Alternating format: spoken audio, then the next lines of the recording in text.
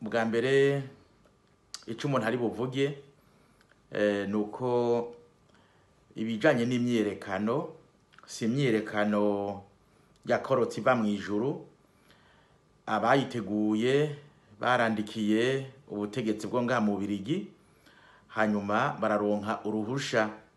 Kandi polise yaha iraheza irabaherekeza. Kugira ngo ntihagire ibyononekara muri iyo myiyerekano. Rero amajambo yashikirijwe na yo ni amajambo ataca apfana eh, n'urwanko rw'igihugu ataca apfana eh, no kwanka ko boronka iyo mfashanyo habe namba twavuze tuti twebwe ico tunegura ni ingene mwoha amahera akoreshwa n'irya leta kandi leta idatunganya neza ivy'igihugu kubera ko e, twaravuze tuti ntitwansi iyo ntwaro ya CNDD-FDD ariko turansi ingene itwara kubera ko ivyo yatwemereye si vyo iriko irakora. Yatwemereye demokarasi. Ibihari ntibisa na demokarasi. Yatwemereye gutunganya neza ivy'igihugu gitunze. Ni ukuvuga bonne gouvernance. Ariko dusanga mu vy'ukuri abari hejuru batunze ibintu vy'umurengera abanyagihugu nabo e, batagira ico bahereza umunwa.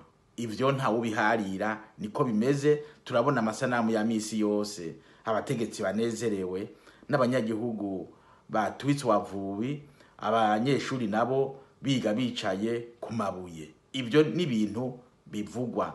Aho nituvuze eh, ibiziga twirirwa turabona. tu, abantu banyuruzwa abantu banigwa abantu bicwa hirya no hino kubera imvo zidafashe. Kandi ugasanga bihereye ngaho bwa butungane bunyene yavuga ko budakora ugasanga bihereye ngaho ubutungane ntibukurikirana na dosiye n'imwe. Ukamenga nakamizwe n'ingoma. None ico gihugu kizobandanya uko nyene. Eh, nejya ejo twara narabonye ikiziga c'umu muntu w'umudamu akiri muto batoye kiri gusa hanyuma bareza baramushirako agahuzu. Yishwe n'abande ntawe uzopfa bimenye. Ntawe uzopfa bimenye. Hariho n'ubundi yishwe mu cibitoke eh, abategetsi bo mu cibitoke ibyo kandi baravyemeza. Umuntu akibaza ati none ibyo byose biriko bira mu gihugu none mushaka tu, tubihebe tuvuge ko ari amahoro? Ta- turiko turabona na mwene ivyo ejo bundi barafashe umuntu yanyuruje itunga ry'igihugu miliyoni mirongo ibiri z'ama- z'amadolari ziragiye. Kenge yazifashe. Ubu bazishyize mu ma mu ma mu ma eh, mu butunzi bwa kenya. Bya byavuye muri bcb ibyo byose hariho umuntu ibanki irekura amahera angana uko? Akagenda mu mufuko y'umuntu. Uwo muntu ngo avuye kudandaza inka. None muzoduhenda gushika ryari? Reka gezaho ni cyo gituma tukavuga tuti tugire imyerekano twerekane akababaro dufise. Twebwe ntitwanse ko babaye imfashanyo ariko dushaka ko imfashanyo ishikira bene igihugu itagenda gufasha abategetsi nk'uko umenga barigaruriye igihugu baza baragi- baragikoresha ico bashaka. Ico nico twebwe twaneguye. Ikindi rero cyo kuvuga umukuru w'igihugu ntashavure kubera ko namba iyo myerekano barayirekuye. Erega no mu burundi hariyo amategeko nuko adakurikizwa arekura ko abantu biyerekana. Iyo banezerewe canke bashavuye bababaye ni kuki bo bagira imyerekano. Gusa ya CNDD-FDD kugira ngo baninahaze ibi na biriya mugo ntibarekure ko umuntu yababaye nawe yerekana akababaro kiwe mu mategeko. Kubera iki? Kuki bagira bimwe abandi abandi ntibabemere ko babi- babikora?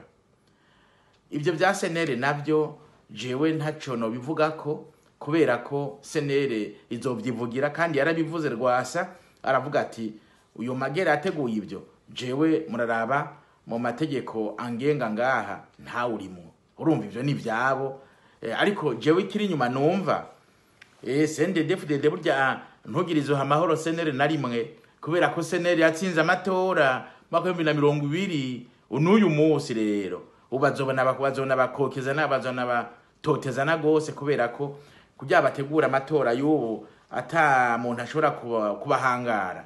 Eh baritega eh, baritega kubera ko burya nta kindi bariko barazira. Bazira ico? Eh, umugambwe nubwo wogira opposition ata abantu nka barya bagwasa bo bafise bavuga bati nibavuge bazoherera iyo. Ariko uyu munsi bavuga bati abo bahutu dukiranira natwe turi abahutu. Urumva tuza kurondera abanywanyi hamwe tuza kurondera amajwi hamwe. Reka turenge twototeza barya bavunike inkokora ntibadusubire kuza bara- barubahuka kuza aho duciye ngo nabo barondera ubutegetsi.